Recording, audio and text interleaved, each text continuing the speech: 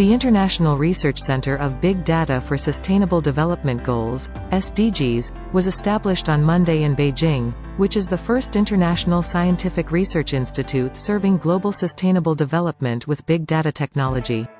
Chinese President Xi Jinping on Monday sent a congratulatory letter to the founding conference of the Research Center. In his letter, President Xi noted that the founding of the center is an important move to implement his call at the 75th session of the United Nations, UN, General Assembly to support the UN 2030 Agenda for Sustainable Development, which sets clear goals for national development as well as global development and cooperation.